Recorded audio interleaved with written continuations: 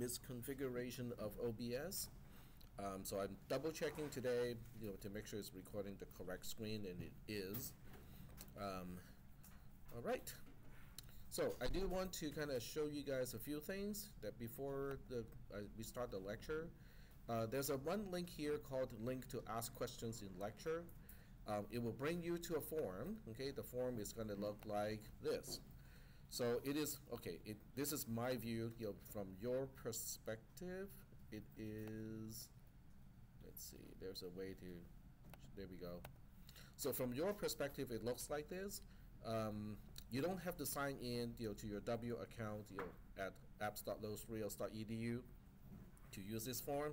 And even if you do, you can choose not to record your email address and not to write your name you know, down here. That's optional. But you can ask your question. So this is one way for me to collect questions from the class um, when we are in lecture. For people who you know kind of for whatever reason you do not want to you know raise the hand and ask the question. So I will check this periodically. Um, unfortunately it doesn't send me notifications. I haven't really programmed it to send notifications yet. Um, so I cannot tell right away that you know I got a question here think there's a configuration that I can actually do that I can go to settings uh, I think there's a way to do it I think it's under responses. Send responder a copied note. That's not what I want. Question default. And defaults maybe.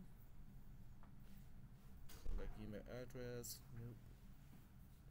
I know there's a way I can get a notification. I just have to find it oh, get email notification for new responses. Click. There we go. All right. So that means you know if you guys you know, want to ask me questions during class, and you don't feel like you know um, raising your hand in class, you can use this method to contact me. But it takes me time to kind of switch back and forth to check this part. And what I will do is I'm going to show this on my other screen. So this way I can keep an eye on this while teaching class and not having this to interfere with my uh, material being taught. Okay, so I'll move this back to the screen that you cannot see on my other side, so I can see it. There we go. All right. So we're gonna what we're gonna do today is to talk about subtraction. My tablet is not working, but I will still try to use the screen as much as I can so that everything is still going to be recorded. And we're already talking about subtraction.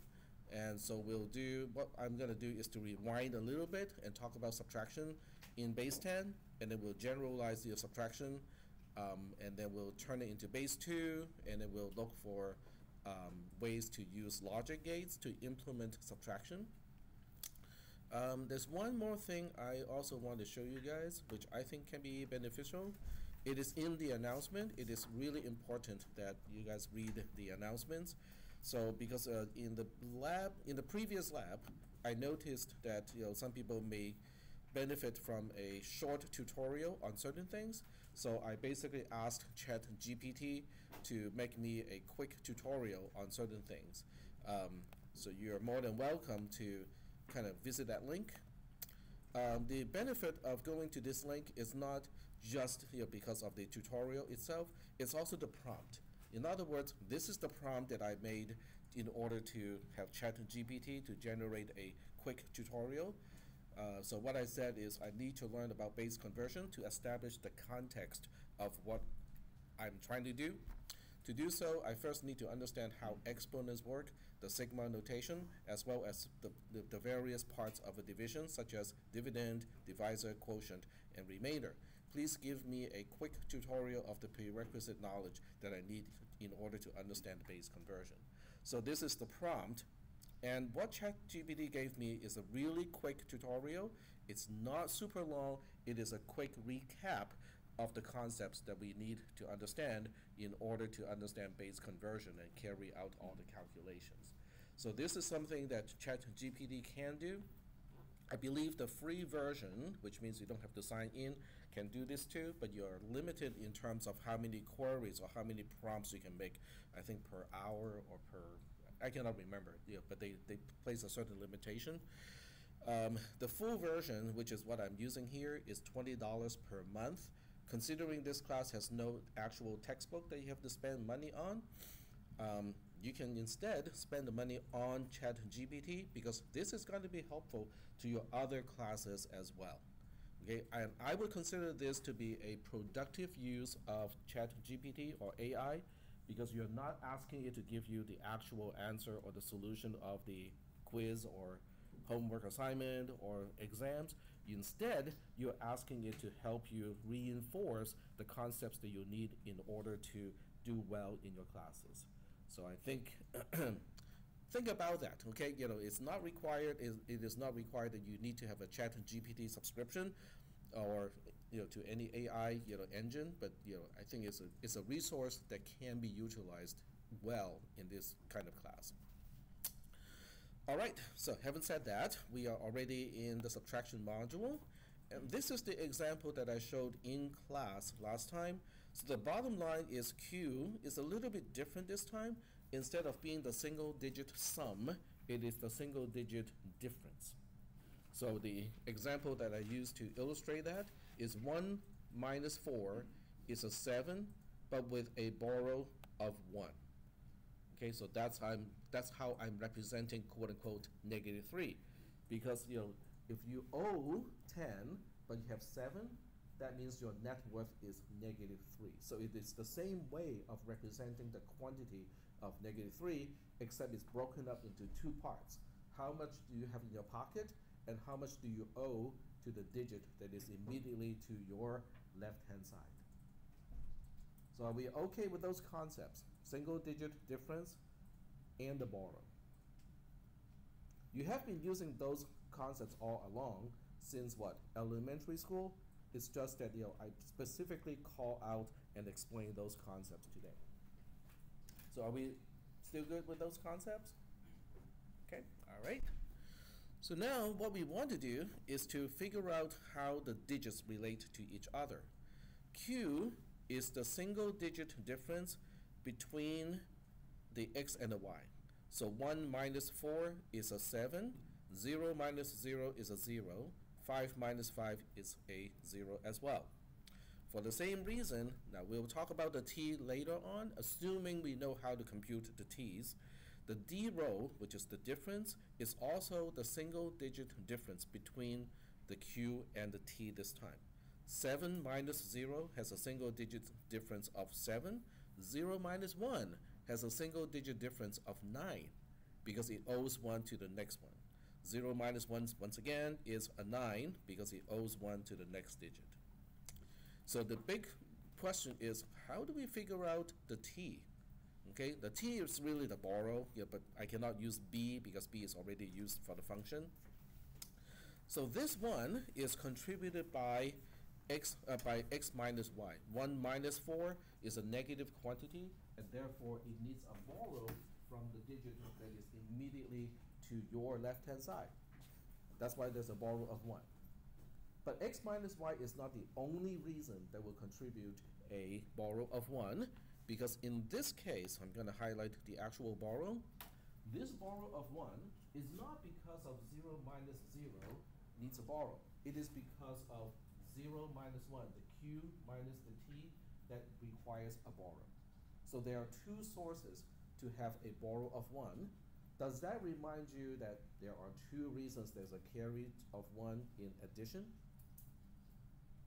Do you see the similarity between subtraction and addition? There are a lot of similarities, okay? Because in addition, the q is the part is the single digit sum of xy. And then the s is the single digit sum of q and t. This time q is the single digit difference between xy, d is the single digit difference between q and t. So that structure is still the same. The only change is are we talking about a single digit sum versus a single digit difference. That's the only difference between the two. Second similarity, similarity is the T row as, as opposed to the K row. This one is contributed because of X minus Y. This one is, is because of the 0 minus 1 over here. But in addition, we encountered a very similar situation where the carry of 1 to the next column can be because of x plus y, but it can also be because of q plus k. Are we doing okay so far with noticing the similarities between addition versus subtraction? Okay, all right, very good. I'm checking on the question form. Nobody has been asking questions yet, so we're going to proceed with. So how do we compute the uh, the single digit difference and you know the other things that we need to do? So the first thing is we want to look at the single digit difference. The single digit difference is also named R, okay, for a reason, okay, because most people would go like, why can't you use a different you know, function name because R was already used in uh, addition to represent the single digit sum. So this time when we're dealing with single digit difference, why do we keep the same name? That will be obvious later, okay? So the single digit difference between uv, in this case both in base 10, is 10 plus u, do this first, minus v. Because when u is less than v, let's say u is a 1 and v is a 4, just like in the example, we're going to have 10 plus 1, which is 11. 11 minus 4 is a 7. So that's how we compute the single digit difference and guarantee that we are not going to run into a negative value. Um, but there's also a mod 10 here, because what if u is greater than or equal to v to begin with, like a 9 and a 2, okay? What if u is 9 and v is 2? So 10 plus 9 is 19, 19 minus 2 is 17. 17 is not a digit in base 10. Well, that's okay. We can always just mod it with 10. Then we get 7, and we got the answer. Are we doing okay so far with uh, the definition of R at this point. Okay, we're good. So now we move on to talk about the borrow, which is basically asking if I were to subtract V as a single digit in base 10, actually in any base, from a single digit U in base 10, do we need a borrow? If so, you know, give me a 1. If not, give me a 0. So this one is rather easy. It doesn't even depend on the base. All we need to know is whether the single digit u is less than the single digit v. If so, tell me it's a 1 because we need a borrow. Otherwise, give me a 0 because we don't need a borrow. So are we still doing okay so far? Okay? So you can see how the r function and the b function are different compared to the r function and the c function in addition if you want to look at everything in C code, this is how I would define it in C code. Um, it's basically the same thing. You know, I still use the ternary uh, expression here. I'm just you know making sure that you know we have a proper return statement and so on and so forth. So no surprises here. I hope. Are we still doing okay so far? All right, excellent. So the only thing that is a little bit tricky is um, how do the bits relate to each other? So over here, Q of i is the single digit difference between xi, yi, which means it is the, the single digit difference of xi minus yi. And then the difference, d of i, is the single digit difference of qi minus t of i. But we talked about that already, okay? When I showed you the table in the multi-digit subtraction, I already pointed this out. This is really just capturing that pattern in an equation using i to indicate which bit position we are talking about. So are we doing okay? Are there any questions at this point? Because I'm using a lot of symbols, okay? The reason why I'm using a lot of symbols is because this is the only way for me to generalize everything into a way so that we can actually structure and build the circuit itself. Are we okay with all that?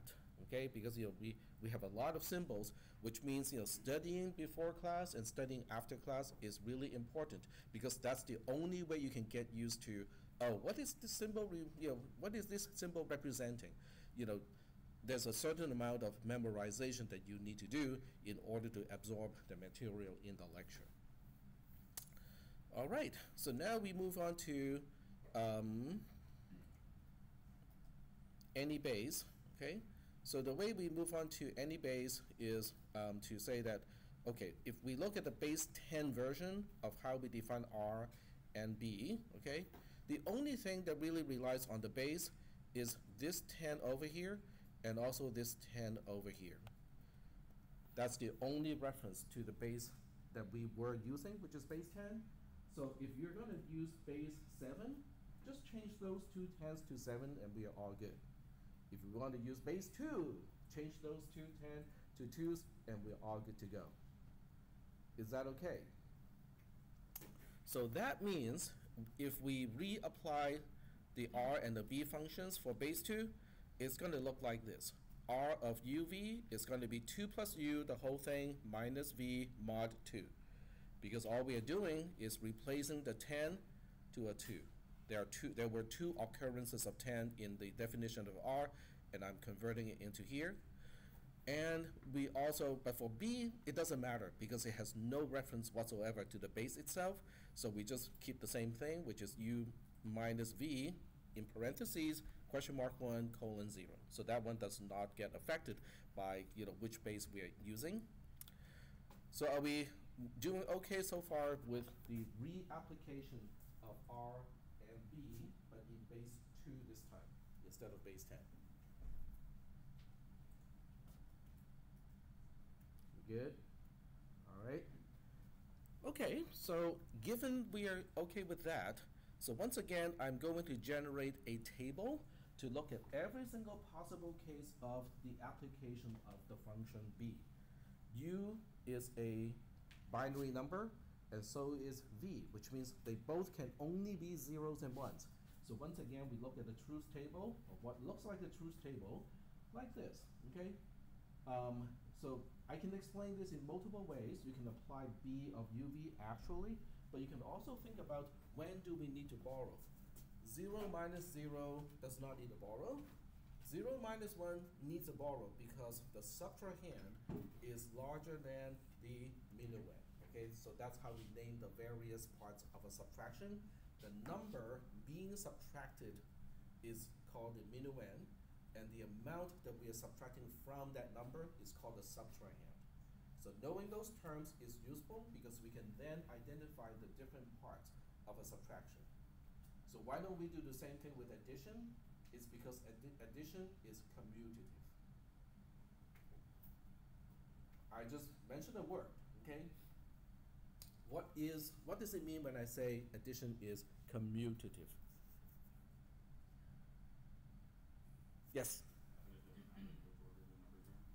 Yes, you can switch the order of the operand without changing the result. In other words, x plus y gives you exactly the same result as y plus x.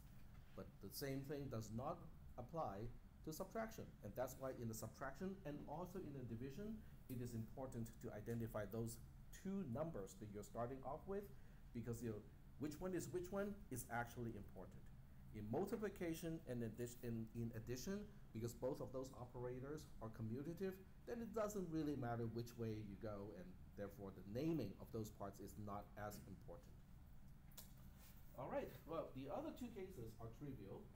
1 minus 0 eh, has no borrow, does not need a borrow, and then 1 minus 1 also does not need a borrow. So is this table understood? All right, cool. So in C, okay, in the carry function, we are just using conjunction itself. This time it looks like uh, it's not a conjunction because you know 1 1 does not give us a 1, it is 0 1 that gives us a 1. Nonetheless, only one of the rows is giving us a 1, so that gives me an idea. Why don't I just you know, negate u first here, turn it into a 1, and then AND it with the v, which is already a 1, to get this 1. And that's exactly how we define b of uv using logical operators, is we negate the u, and then we AND it with the v.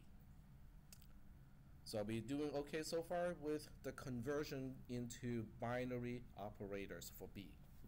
We're only focusing on b right now. Is that okay? Are you guys convinced that this b function would do the same thing as the original b function, which relies on addition, subtraction, and also division.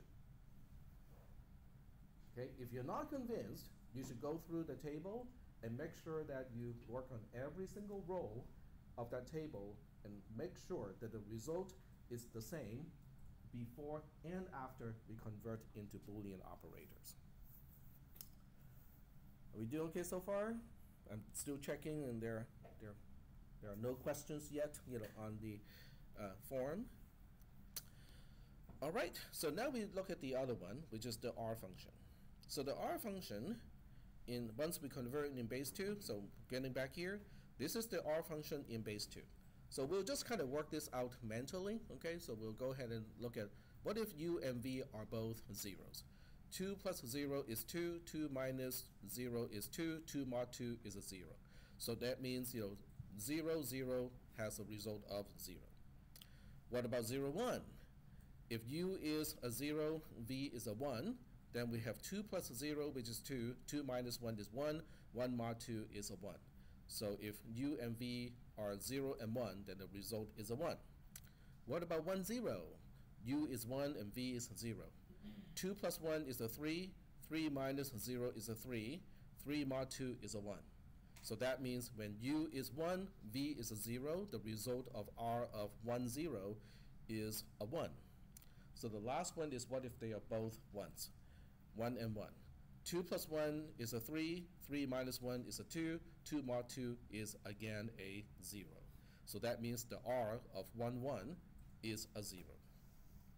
Is that okay? I didn't really write anything. I, I was just kind of going through all the mental math based on the equation here. But to summarize, this is what it looks like. So when people look at this particular table, I'm expecting people to look at this table and go like, I think we have seen this before okay? Because anyone who's not noticing that we have seen this before probably needs to study the material a little bit more because we saw exactly the same table for addition. The R function table for addition was exactly the same. So that means, oh, so that means we can just use exactly the same Boolean operators and the Boolean expression and be done with this. You're absolutely right about that. It is just exclusive OR, or if you prefer to use your conjunction and disjunction, you know, this is the, the way to kind of spell it out using operators that we are familiar with. But otherwise, if you can use an uh, exclusive OR gate, you can just use exclusive OR. All right, so do we have any questions at this point?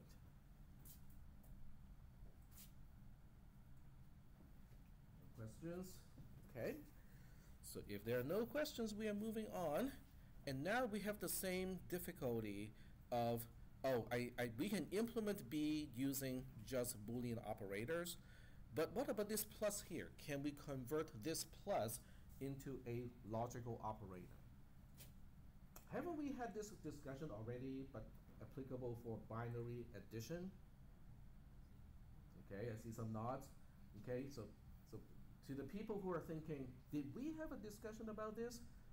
Once again, it is important to take notes, study the material before and after. Okay, I cannot nag people enough about this because you know that's what it takes to be successful in a college level class, especially one that transfers to a four-year university. All right, so we have we're going to go through the same argument here, okay, which is uh, can b of xi be a 1 when b of qiti is also a 1. Okay, so we're going to analyze if one is a 1 already, does it guarantee the other one has to be a 0 and vice versa? Okay, because that was how we can show that oh, it can never, they can not be ones at the same time, and so we don't have to worry about that. And as a result, this addition can be replaced by a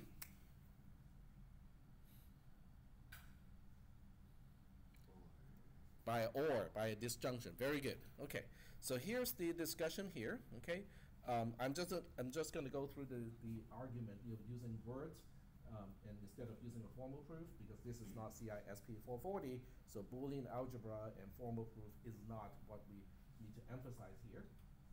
Okay, so let's just say that b of xi, yi is a 1. Based on the definition of b of xi, yi, looking at the table, what is the only case that b of xi, yi can be a 1? What has to be x1, what has to be xi, what has to be yi? xi has to be a 0, yi has to be a 1. Very good. And based on how we define q of i, what do you think q of i is going to be? Given that xi is a 0, yi is a 1. q of i has to be a 1, right? So if I know that q of i has to be a 1, can the b of qi and whatever ti is be a 1? You, you're looking at the correct table right here to answer that question. I'm asking if q of i is known to be a 1 to begin with, can b of qi ti also be a 1? Okay, so because qi is basically the first argument, we are looking at this row, this row, just those two rows. Um, nope, I take it back because they're ones, right? So we are looking at this row versus and also this row here. Regardless of the value of v, which is t of i, the result has to be a zero. So this is the argument that I'm using to basically say if q, if b of xi, yi is a 1, it guarantees b of qiti has to be a 0. Is that okay? Now, what kind of math have I used here in this particular argument? Almost zero, because all I did was to use a table lookup. I don't even care about why the result is like this given the input, because that was discussed earlier. I was only using the table to argue that b of XIYI being a 1 guarantees q, uh, b of qiti has to be a 0. So what is the difficulty of you know, understanding all this stuff here? I can tell you. The first one is familiarity of the names. What is xi? What is yi? What is qi? What is ti? That has to do with how things are named in a division. This is row x, row y, row t, q, row t, row d, and this entire column is column 0, column 1, column 2, and column 3. So being familiar with the notation is the key to understanding what I just said with that argument. Now, is that argument going to be something like that in the exam, in exam one? The answer is no, okay? But you need to be able to apply that line of reasoning in order to answer questions in exam one. So one week before exam one, I'll give you um, an example of a previous test or previous exam, you know, for the same exam one, and then you understand you know, what I mean when I said it is about problem solving. All my exams is about the application of what you learn in order to solve a problem. It is never about regurgitating uh, the definition of something or the name of something because it's all open book and open notes. Why would I want you to just tell me something that you can find in the notes? It doesn't make sense to me. It also does not make sense in the sense that when you go out and become a software engineer or a developer, do you think your boss is going to come to you every week and just go like, okay, can, can you tell me what is the definition of an abstract class in C++? No, your boss does not care at all. Your boss will come to you every week. There will be a product, your project meeting, and your boss will ask, How's that coming along? Okay, the deadline to get this API done is next Tuesday. Okay, how is that coming along? And hopefully, your answer is going to be, yep, I almost got the whole thing done. I just need to document it a little bit and test it a little bit. We should be able on time. You know, on Tuesday, it'll be it, I, I'll have it ready. Okay, so it is about the application. It's not about memorization. All right, so getting back, okay, I digressed a little bit. So getting back to the argument here, and the other way around, is to ask, if I know b of QITI is a 1, how can I be sure that b of xi yi has to be a 0? Okay, same argument. If b of QITI is a 1, looking at the definition of b right here, that means this is a 1. But that automatically locks down that qi has to be a 0 and vi, I mean, uh, ti has to be a 1, right? Because that's the only way you can make the b function to return a value of 1 in base 2. Is that okay? So this line of thinking is called constraint-based thinking. I'm looking at the table and I'm asking, if this is the result, what is the consequence? What is, what is it implying? Oh, the only thing that can make this happen is qi is a 0, ti is a 1. Okay, how is that going to help? Well, knowing that qi, which is the application of r, is a 0, now I look up r, the r table, which is now basically asking, we know qi is a 1, what can I say about xi, yi? So this time you cannot lock down xi, yi to just, oh, xi has to be this and yi has to be this, but you know one thing, they have to be different. One has to be a 0, the other one has to be a 1. Is that okay? So if they are different, um, if they are different, okay, let me let me see. I need to think about this a little bit. so we know qi has to be of 1. No, we know qi has to be a 0. I take it back, sorry. We know qi has to be a 0. We are, so we are looking at these two rows. So I take it back. Sorry, you know, I mentioned the wrong thing. Because we know q of i is a 0. Let me just repeat that whole thing again. Because we are looking at this one here as the result of b. This is qi, this is ti. So we know that qi has to be a 0. If qi is a 0, then we are looking at qi being a 0 here, qi being a 0 here. This would be xi, and this would be yi. So I have to kind of go back and kind of reverse the argument. It doesn't tell you that xi has to be a 0 or yi has to be a 0, but it tells you one thing. They have to be the same. xi, yi are guaranteed the same. so now the question is, if xi, yi are guaranteed the same, what is the b of xi, yi? So now we switch back to the b table, and we go like, oh, if they are the same, then the b of xi, yi is guaranteed a 0.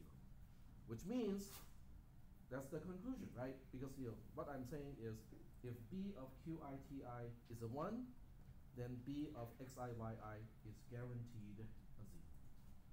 That is the argument. And I did not use any fancy math. All I did was to basically reuse the tables, apply the tables, and logically work this out. Okay? Are we okay with the argument? More or less? Okay? Now, in this class, I'm not, yeah, go ahead, sorry. Sorry, uh, the, so what we're trying to argue here is that basically you're never gonna get a carry of two. The, That's what you're trying to do. the two Instead of b solving functions it. cannot both be ones at the same time. Yeah, And as a result, we can use a logical OR instead of an arithmetic addition. yeah, in order to do that, you just prove that you'll never get a carry of two. Correct.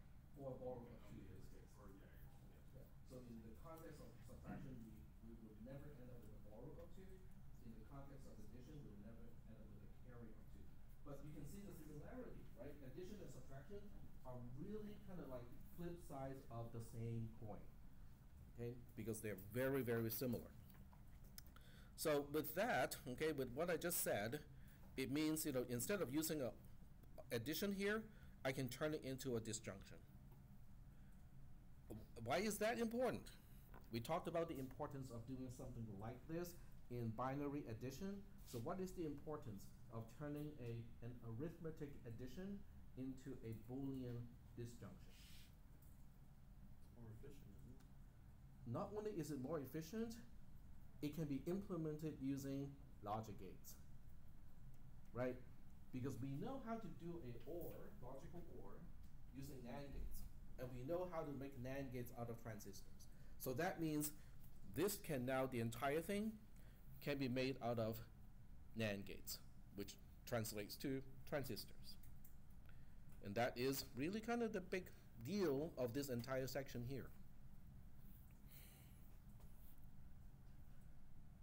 I don't, I don't see any expression going like, wow, we can do everything in transistors.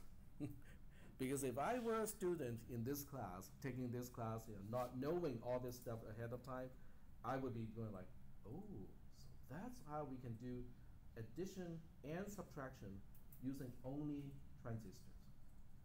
Basically, that is the most basic building blocks inside the processor. Are we doing okay so far with all this? Okay? Because the understanding why we are doing this, I think, is just as important as what we are doing.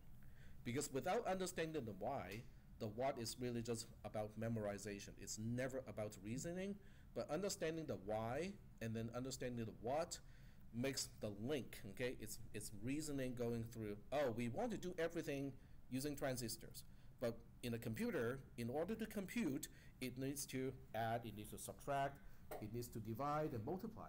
But division and multiplication can be done using comparison, uh, bit shifting, and addition and subtraction. So once we have all the basic operators done, we can do all the fancy stuff like multiplication, division, sine, cosine, and all that stuff. Okay. Just yesterday, I found a way to compute the value of pi using a series. Um, if I remember correctly, you don't have to remember this. This is totally um, outside of the, the scope of this class. So it starts with um, division by fours. So it's 4 divided by 1. Okay, take this out.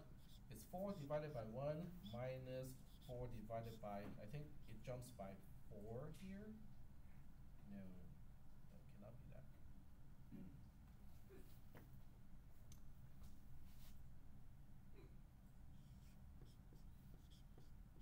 I think it's 3 and then, okay. It's something like this. Okay, I may not have done this correctly, but it's, alternating the addition and the subtraction, and you're dealing with four divided by your one, three, five, seven, and so on, and then you just flip the sign for every single one of these, and that's how you can compute. That's one way to compute pi. And I was going like, oh, that is kind of cool because you know, um, the computation of pi is fascinating because it is an irrational number, um, which means you know there's an infinite number of digits to that whole thing. There's no repeating pattern of those digits either. So this turns out to be a quick and easy way to, well, I wouldn't say quick, but it is an easy way to compute pi. So I was going like, oh, that is interesting. All right. So I'm going to pause a little bit and see if there are any questions about everything that we have talked about all the way up to here.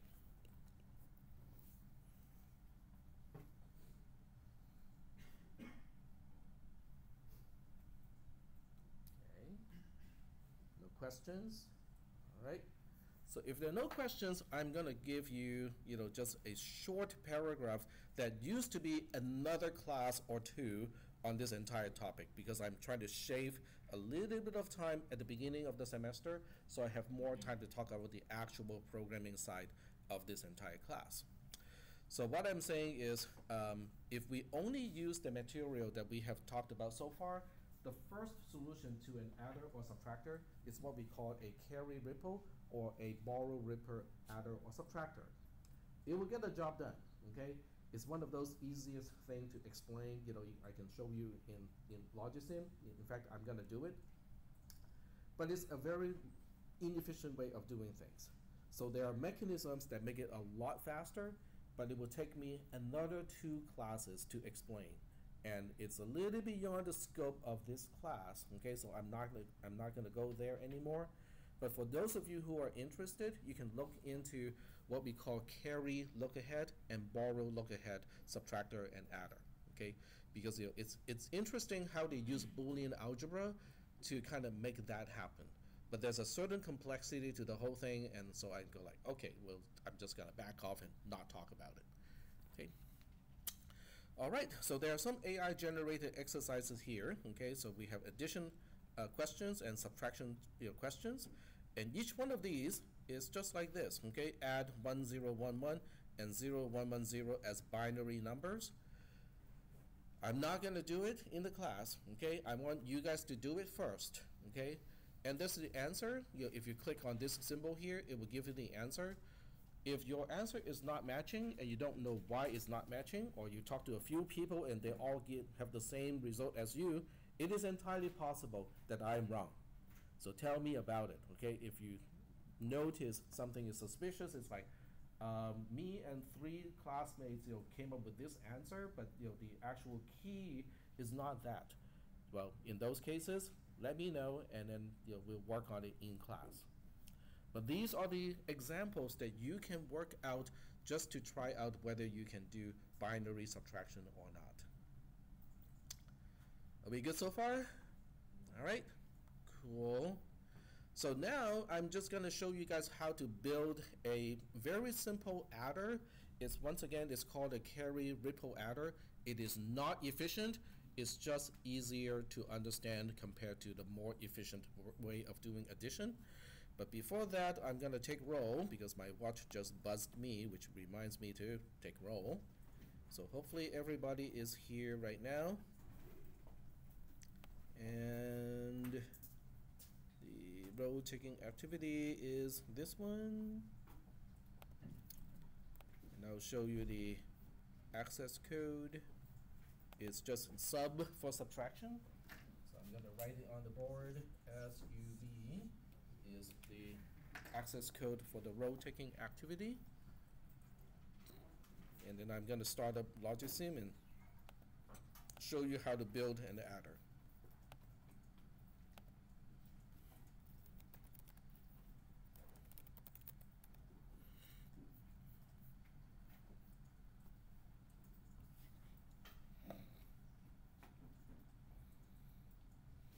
The access code is on the whiteboard.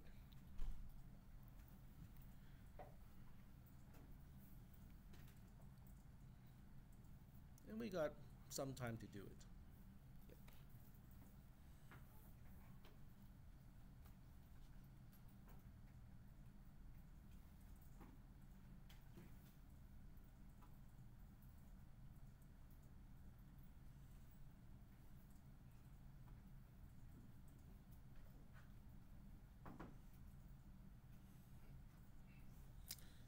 All right, so. Are we ready to work on the actual adder circuit? We good? Okay, so I, I'm gonna ask you guys, do you want me to work on adder, and adder, or a subtractor? It's up to you. Or something that can turn into adder or subtractor. Let's do that. Let's do a general device, and with only one pin, I can control whether we are dealing with adding or subtracting. How, how, does, how does that sound? Okay, sounds good? All right, so let's do that. All right, so we, so we have to think about the, the most basic things that we need to do, which is the R and the B, or the C, right? So we have to look at, you know, the inputs. So I'm gonna call one input, um, the U? And then we'll duplicate this and then call the other input V because you know that those are the two um, parameters that we need. Okay, ah, come on, move. I can't grab it. There we go. All right, so this is V. Okay, and then we also need another input to tell us are we adding or are we subtracting. Okay, so we'll uh, use another one here. And I think if I want to subtract, if, so this is basically subtraction, okay? If it is a one, we are performing subtraction. Is that okay? So out of this whole thing, I need two output pins. So once again, if you want input pins and output pins, it's best to use these two as opposed to ones under wiring. So I'm going to use this as an output pin. So one upper pin is easy. It's just R itself. Okay, so I'm just going to call this R of U and V. Oops. There we go. And then the other one is going to be a little funky because it depends on whether we are adding or subtracting. It can be the b or the c function. So this one is either b or c of u of v. Okay, u and v. There we go. So are we doing okay so far? You know, as far as you know, what is, what are the inputs to this mystery circuit, and what are the outputs of this mystery circuit? Okay. So all we want is to say, okay, give me two numbers, two single digits, u and v. Tell me whether we are subtracting or adding, and the circuit will give me simultaneously the r function value of uv and also the b or the c, you know, depending on whether we're adding or subtracting between the u and the v. So, because I'm lazy, I'm going to work on the easy one first. The easy one is going to be the R because it's just an exclusive OR. So the way we do it is to go to gates. I'm not going to make everything out of NAND 2 gates and then make the NAND 2 gate myself. So I'm going to use the exclusive OR gate, okay, which is gigantic. So we turn it into a narrow, which makes it smaller. We also want to limit the input to just what we need, which is just two inputs.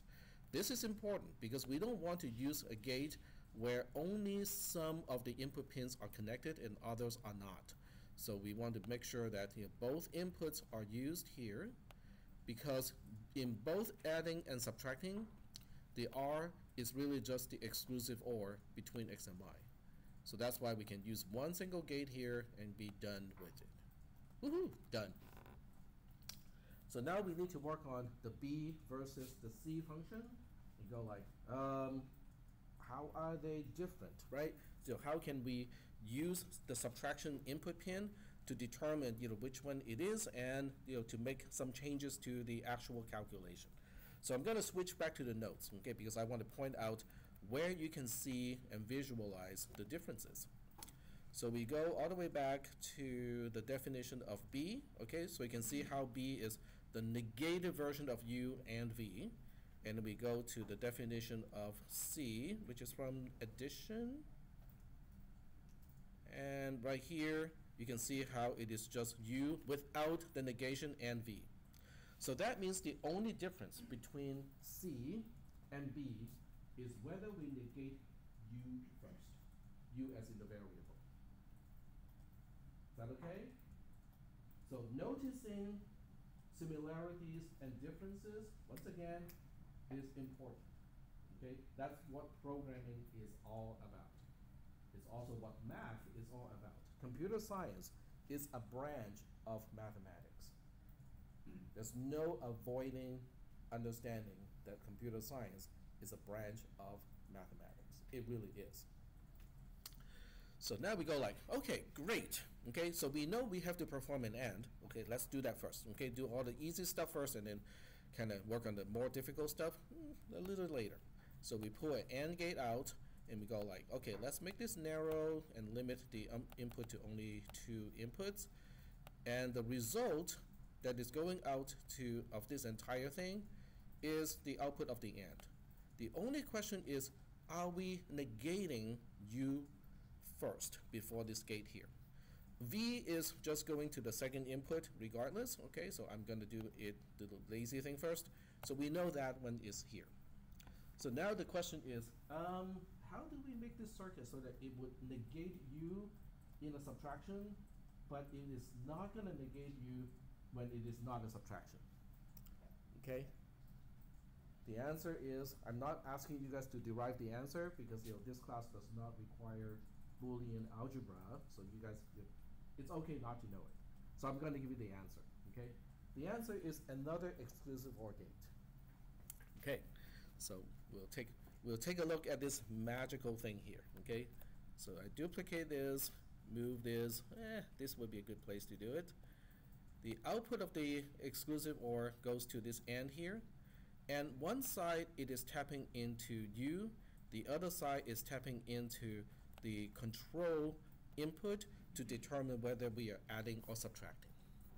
Okay, so now you have to ask yourself, if subtraction is a 1, okay, the input pin is a 1, and U is a 0, what is the exclusive OR between U and subtraction?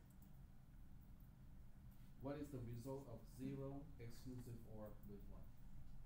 one. Is that the negation of zero? Yep, okay, good. What about if the input is one? Okay, if u is one and subtraction is also one, what is the output of the exclusive OR gate that is selected right now? It's going to be a zero. Is zero the negation of one? I think we got it, right? So you can always test a circuit, you know, by using the poking tool. You can always test it. It's like, okay, if we are subtracting, the output here is the negation of the input. Cool. And if we are not subtracting, it is just itself. So this particular exclusive, exclusive OR gate here is doing a very special job because it is basically saying, uh, tell me whether we're subtracting or not. If, if we are subtracting, I will go ahead and negate you. If we're not subtracting, I'm not going to negate you. The purpose of that, the um, exclusive OR gate, where the cursor is, is doing just that job. But now you can see, oh, what about the rest? The rest of the entire circuit does not need to know whether we are adding or subtracting. Is that okay? So we're, we're going to turn this into its own circuit, okay? And the way to do that is to go to the appearance part, or actually, yeah, we go to the appearance, and then we're going to give it a name, okay? This is called a half adder or half subtractor. So we're going to say uh, HAS, half adder subtractor, because it can do either. And you know, because we have so many input pins, I think it is good to label the pins too. So we have U, V, and you know, whether we are subtracting or not, okay, subtracting versus adding. And then the output one is the R of the output, and then the other one is either the B or the C, depending whether we are adding or subtracting. I know, you know the labels are all over the place, but this is why I'm gonna adjust everything now, make, make it look kind of nice. There we go add, subtract versus adding. And then these labels, I'm gonna make it on the outside, okay, just a little bit here. I mean, the labeling is really just nice to have, you know, they're not essential, okay? But if I don't put the label here, I'm not gonna remember which pin is which pin. All right, cool. And then the next thing we need to do is to go to the main circuit and change the circuit name here because it's not really the main circuit anymore. This is just one component that we need to use in order to make our special device. So I'm just going to say this is a HAS, which is a half adder subtractor. Okay, so if this is named a half adder subtractor, what do you think is the next component we're going to make? Full. full, right? Because you know, if there's a half something, that means there has to be a full something. So this is you know, basically, again, you know, pattern matching and being able to uh, understand the implication, okay? Because if there's an anti-something, there's probably a non-anti-something, right? So if, a, if there's a half something, there's probably be a whole or full something. So now we're gonna make the full adder. So we go to project and go to add circuit. So this is gonna be a full adder subtractor. Okay, so we'll take a look at how we make this happen. So the way we make this happen is um, we go back to the equations. Okay, so if, if we go back to the equations, the trickiest part of the entire thing is how do we compute k of i plus 1. So k of i plus 1 is the c of xy or the c of qk, and then the t of i plus 1 is likewise, okay, let me scroll all the way down to here. So the t of i plus 1 is the b of xiyi or the b of qiki. So that means, hmm, what are the inputs to this entire thing? The input to this entire thing to compute t of i plus 1 is xi, yi, not qi, because qi is computed from xi, yi. But tki is, oh, this is supposed to be ti, sorry. So I need to fix this too. This is supposed to be ti, so ti is also an input. There are three inputs to this entire thing, plus the one that specifies are we adding or subtracting. So we need four input pins. What about output pins? The output pins will be T of i plus 1 is one output, but then the actual result, which is d of i, is also one of the output. So we have two outputs, four inputs, two outputs. The important part about doing this is you have to first understand what we are given with and what we want to compute before you try to figure out how to do it. Okay? Let me explain that again. Understanding what you need to do is the first step because only after that you can try to figure out how to do it. So what go, comes first and then how. The why is also important, but you know we kind of have an imp- implied why because we want to become software engineers, get hired, and make a lot of money.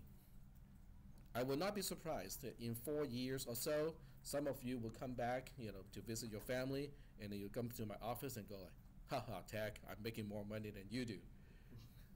I will not be surprised at all. Okay. All right. So that's I think that's a good thing.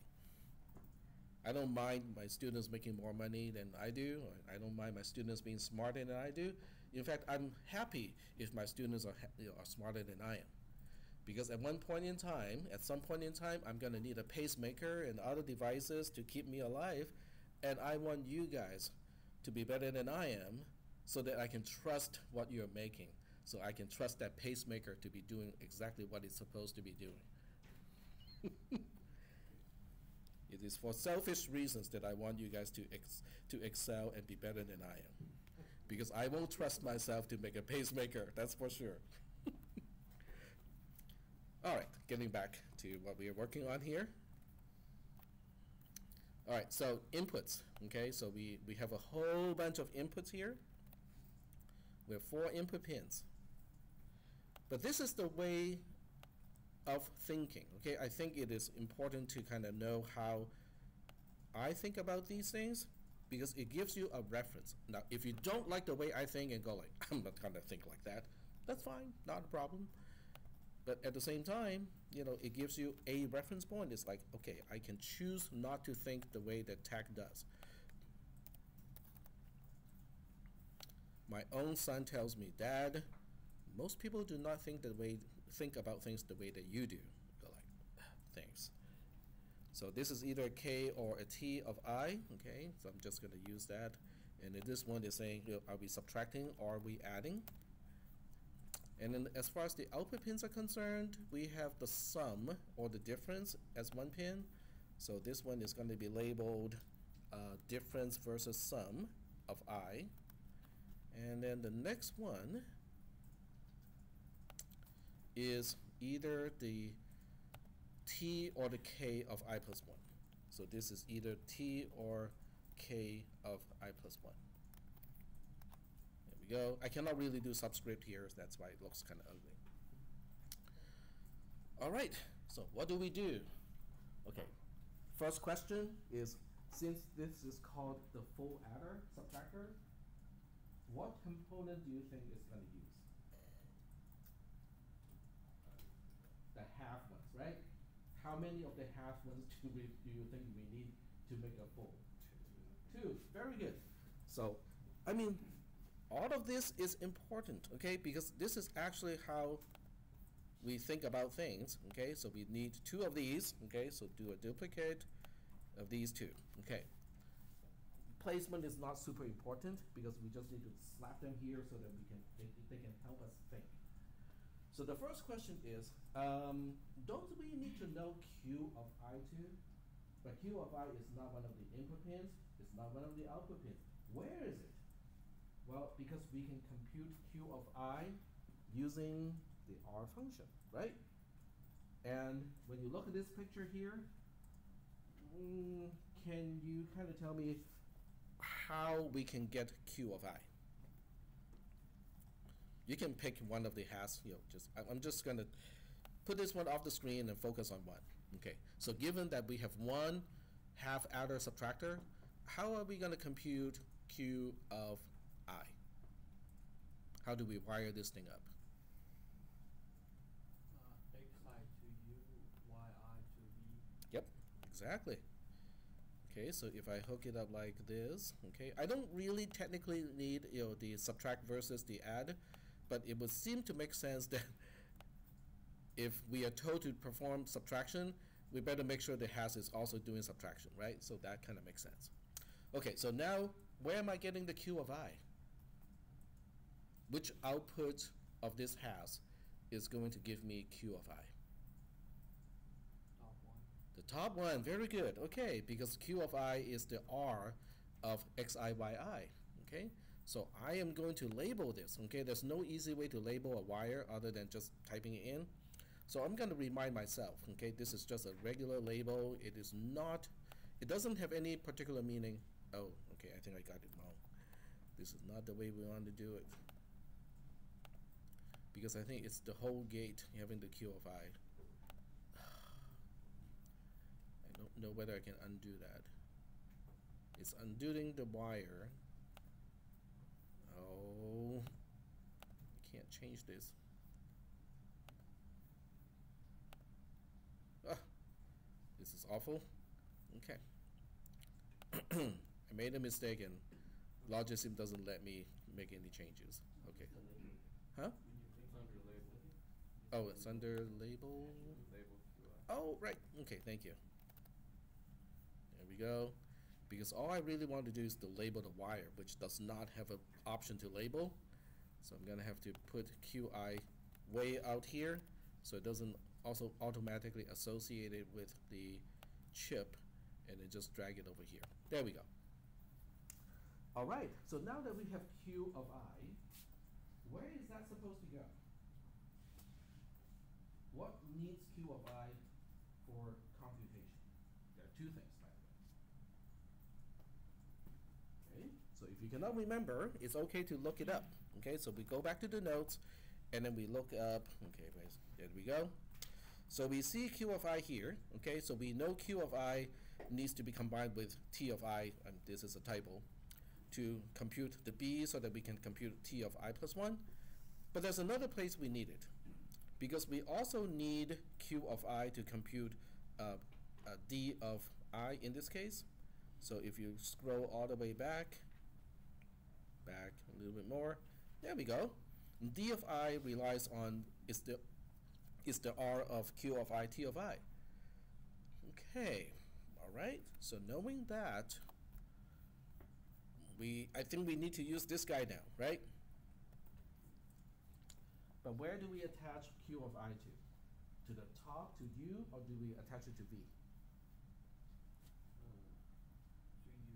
to you. To U because we want to compute R of UV. Now R doesn't really matter which way is which way, but the B does, right? Because B wants to negate only the first operand, but not the second one. So that means, okay, I have to be a little careful here and make sure that this only go here. Okay, and the R of this is going to be the result, which is our difference or the sum. So this goes all the way to this particular output. Easy one.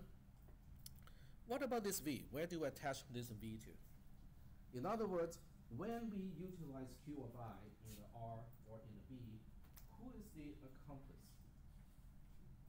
Okay. K or T, right? The Ki or the Ti. So that's the other pin that has not been used up to this point that has to go here. There we go. And whether we are adding or subtracting is universal, so both of these need to understand that we are adding or subtracting. So are we good so far? So when you look at this diagram, okay, one way to think about are we done with the diagram is do we have things that are not attached, that are not used up to this point? We have three things that are not used. We have the BC coming out of this thing here that is not used, and then we have the BC that is also not used here. So now the question is, how do these two have anything to do with the T or the K of I plus 1? Okay, so what is exactly this? This is either the B for subtraction or the C in the case of an addition of xiyi. This one here is the B or the C, depending on whether we're adding or subtracting, of qi and kiti. How do we use those two? Let's go back to the notes, okay? So you, if you go back to the notes, okay, you go to the last form here, Oh, we're supposed to, we're supposed to use a or between these two to come up with t of i plus one. The k of i plus one is similar. Yes. Oh, I thought you had a question. No, okay, that's all right. So that means, oh, okay. So that means we need one more gate, right? Be- because we need an OR gate to, to combine the borrow of the two to become a single borrow to the next digit. So now we go to gates again, and then we go like, okay, let's make an OR gate, make it narrow, and only have two input pins. Okay, and we're gonna stash it right here because the output of the OR gate goes straight to the output here. So we take this, which is, the order doesn't really matter in this case because this junction is also commutative. So we do, it doesn't matter which one goes to the top, which one goes to the bottom, as long as they're both attached, we're good. So now we have a full adder subtractor for one bit. In other words, each column of the multi-digit addition or subtraction can now be implemented by a circuit like this. Is that okay so far? So I want to make a three-bit adder subtractor. Okay, so we want to take a look at what it, what that is going to look like. We got enough time to do it, plenty of time. So we go to project, add another circuit, and this time I'm going to say this is a three by three, which is, which means the inputs of x is three bit wide, the input of y is also three bit wide. So three by three, um, this is a subtractor adder. All right. So since we just built the full adder subtractor, I'm guessing that's needed here. Okay? But before we even go there, we're gonna say, okay, what number, what are the inputs? There are four inputs again. Okay, so I'm gonna stash four things here, and then I'll explain what those four things are. And then we have two things coming out of the whole thing. All right. The first two things we need are the two things that are really obvious. Uh, what are we adding or subtracting? So the label of these two, one is x, the other one is y. Q is not here because Q is computed internally, so it's not a big deal. The other input here is K0 or T0. So this is T slash K0. So the, the borrow or the carry to bit 0 is an input. We talked about this a little bit because this way we can basically chain multiple of these devices to perform a wider addition or subtraction. Okay, it makes it stackable. How many people have played with Legos? This is basically the stub on the Lego so that the Lego pieces can stack up. Okay? And then the last one is you know specifying are we adding or subtracting? So it has the same label, which is just you know, are we subtracting? If we are subtracting, it's a one. If we're adding, it is a zero. As far as the output is concerned, one is the actual output that we want, which is either the sum or the difference. So it's either D or S, okay, as the sum or the difference. And then the other one is the overall carry or the overall borrow, which is in this case um, T or K of 3 because we want to make a 3 bit adder. So the most significant or the overall carry or borrow is bit 3. Okay, all right. So next thing is to say basically these things, they all need to be um, 3 bit wide. So I just did a multi-select. You can do that using uh, Control Shift, I think. Um, you can select multiple things. And Logisim is pretty smart in this sense that it will actually recognize common things between all of these things. And if you make a change, like you know, in terms of the number of data bits, from 1 to 3, it applies it to everything that is being selected. So that's pretty handy as a feature. All right, cool. So now we need to go like, okay, now what do we do? I think we need the full adders, okay? We need the three of these because each one is only performing the per performing the calculation of one column. So we're gonna need three of those. But the output of this is a, is a cable that has three wires inside. The input to these is only a single bit. So what do you think we need? A splitter, very good. So we got, we're gonna need two splitters in this case, and two, and one single splitter to merge the output of these things back into one. So we'll go to wiring, go pick out, you know, the splitter, and the, what about the bit width in? What, what should it be? Hmm? Three, that is correct. So we have three, and we also want the fan out to be three because we need every single one of those bits. I will do a control D, you know, just to make a copy of this, and then control D again because we need three of those. All right, so we attach this one to, um, mm, I need to move things around a little bit, just a little.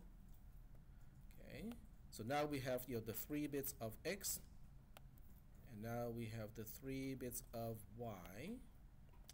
And then for this one, we need to flip it around because the merged end connects to the actual difference or the sum. So uh, we go to heading or facing and make it face west, like so. And stash this one over here, make this connection here. There we go. All right, let's focus on one thing at a time.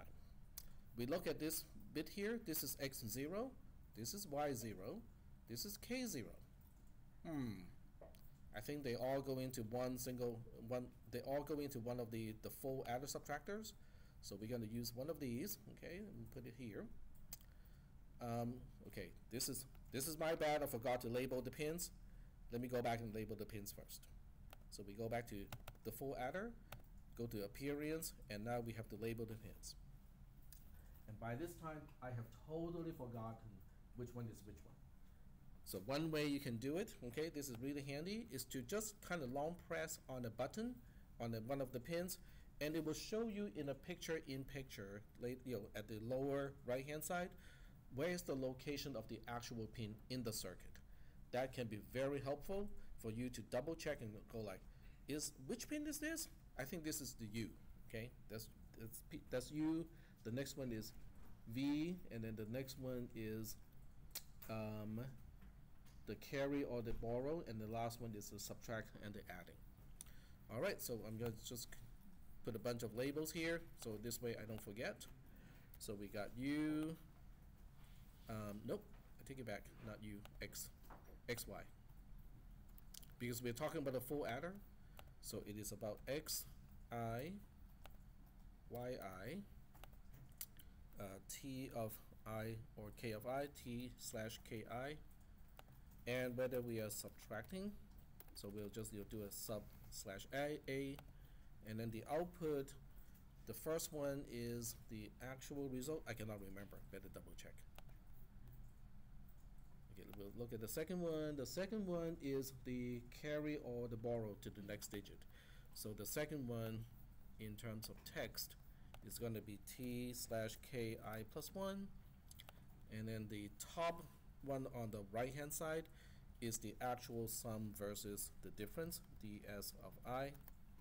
Alright, so now you get to move things around a little bit just to make sure it's easier to read.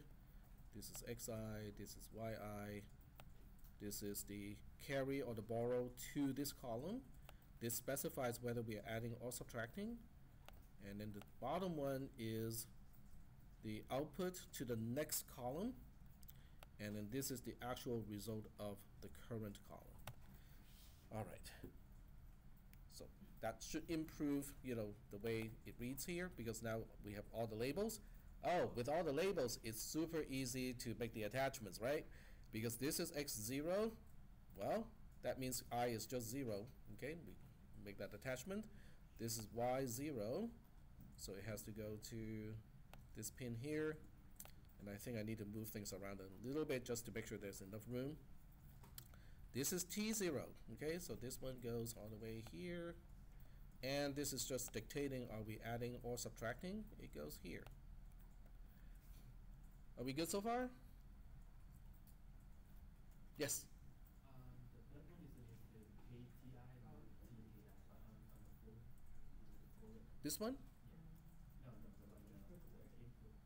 Hmm? The third input. Sorry? The input is, K, KTI, not TKI. It is um, T slash KI On, on, on the full. on the full one. You mean this one? Yeah. I think that is the TKI.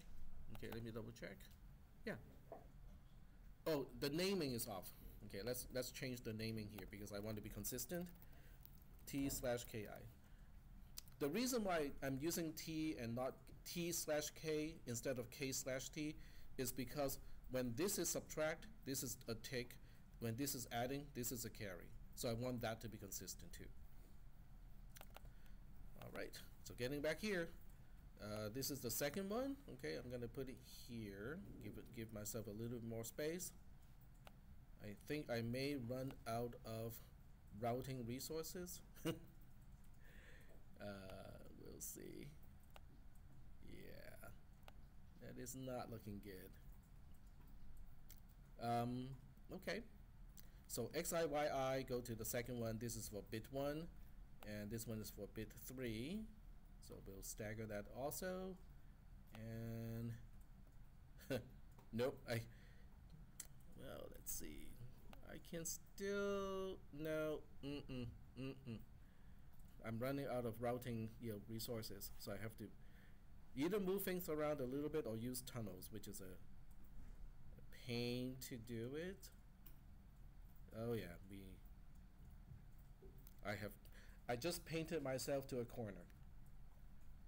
Because this has to go here.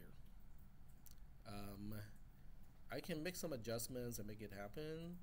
So this way I can move. Okay, this is what you can do in Logisim is you can actually change the position of a vertical line just by dragging it. By doing so, I'm giving myself a little bit more room for you know kind of doing the routing. So this is gonna go here. This is gonna go here. I, I may be painting myself to a corner later on too, but you know right now it's okay. And this one, I think I still have enough routing resources here to get this done. This goes to the YI over here. All right. So as we have the circuit here, there are a few input pins that have not been determined. So let's go ahead and fix all the ones that we know how to do already. So all the SA should be connected to the same thing, okay, so that's the easy one. Because once we specify are we adding or subtracting, it should apply to all of the adder subtractor. So that part should not be, should be pretty easy. The difficult one is, what about this one here? This is the TIKI as an input, but it should connect to the T of T or K of I plus one. So the output from the previous one should connect to the next one here. And once again, you know, I kind of painted myself to a corner because, you know, I just kind of run out of routing resources. So I'm just gonna move things around a little bit until I get enough space to do it. I used to do board layout in circuit boards, so, you know, I, there are a few tricks I can pull from those experiences. There we go. All right, so we're almost done, right? Um, the DS are the actual results. So bit zero of the bit zero goes here. This is going to bit one. And this is going to bit two. So those are the easy ones. And at this point, I think the only thing left over to do is pretty obvious. There's one output pin that is not connected.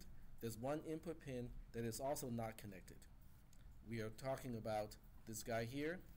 This is the overall carry or borrow of the entire calculation, and it needs to go to the overall output pin here. Okay, one more try, and we're done. Uh, we are running out of time. I don't want to take up your lab time to finish this or to test the circuit, so I'm gonna save it so that we can test this, you know, on next Tuesday. Okay. But this is how you.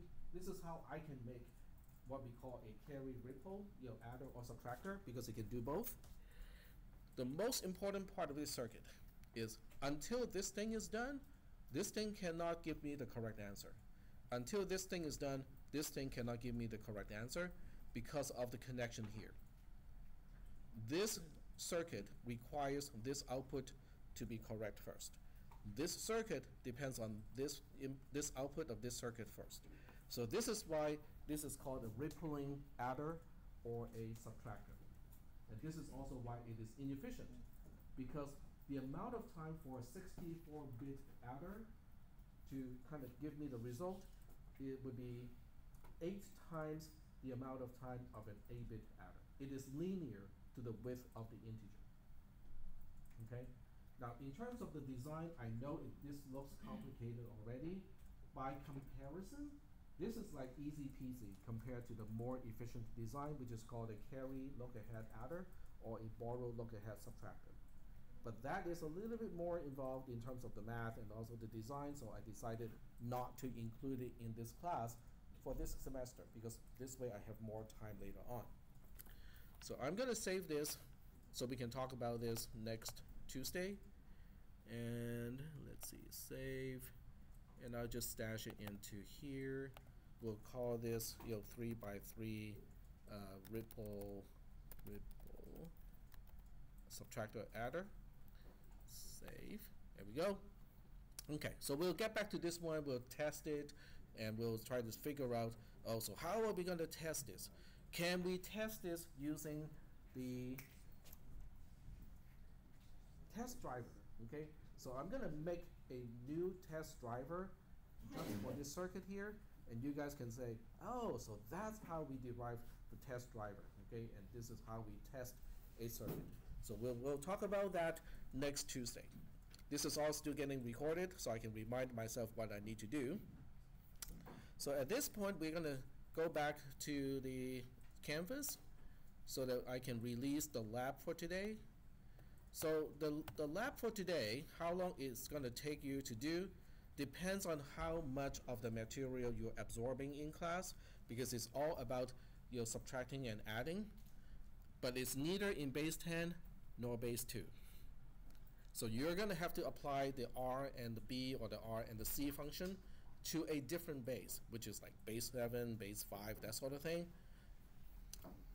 So let me go ahead and unhide this.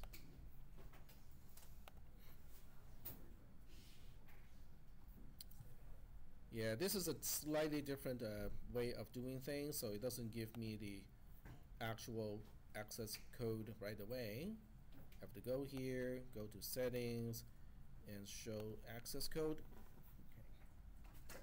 So the access code is X, Y, Q, K, S. That's the access code of today's lab. And if people are questioning, it's like, why is it Q, X, Y, Q, K, S? It doesn't make sense. I'm gonna have to say again. You know, you guys know what I'm gonna say again. You need to study a little more, because these are the names of the roles for an adder. All right, so you guys should be able to do it now, um, because I just un.